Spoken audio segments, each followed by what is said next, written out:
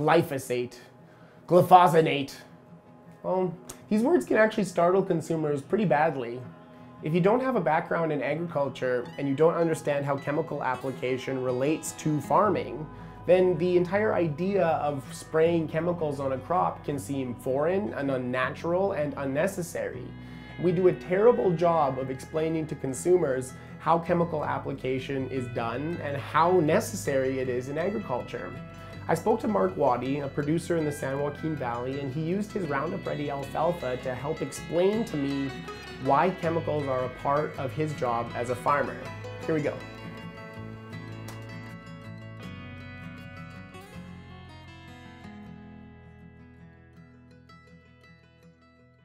This is one of the this is one of the key components in making milk. Okay. Is, is alfalfa, and uh, it's it's every about here in this part of the world, this part of the San Joaquin Valley, we cut it about every 30 days.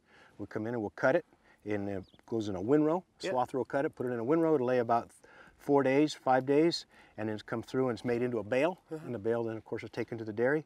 And at that point, the, uh, the it's dried down to probably about 12 to 15 percent. So when it gets mashed into that bale, it won't it won't rot or mold or anything. It, it can be it can be stored for months on end. And then uh, right after it's cut and the hay is the the bales are removed from the field, we'll run water on it, and 30 days later we'll repeat that process. And we'll do that in March, April, May, June, July, August, September, October, sometimes in November. Okay. But for, but for sure, eight different times, eight cuttings a year. That's amazing. And what, what is the crop used for?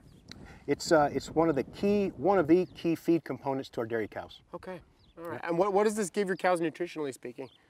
Well, just energy. Yeah. Uh, yeah, TDN, total, total digestible nutrients, a whole host of things. Cool. Yeah. Wonderful. Well, and Is it just pick up just a little pump like you yeah, absolutely. Where are you where are you shooting for here? right in there. Right in there. Okay, good stuff here. And I'll grab a little bit too.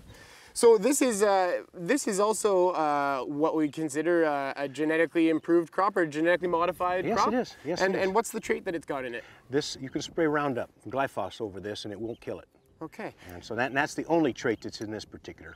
So why is it, Mark, that a, a farmer needs to spray a chemical on their crop? Very simple, to keep the weeds out. The weeds are an invasive species, and this is high quality bred, bred for to make milk.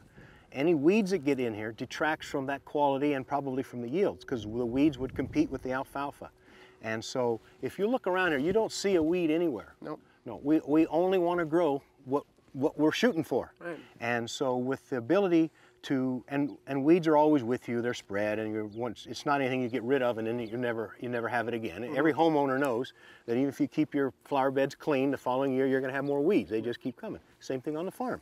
And so this is, the Roundup technology is a way for us to uh, control all weed species.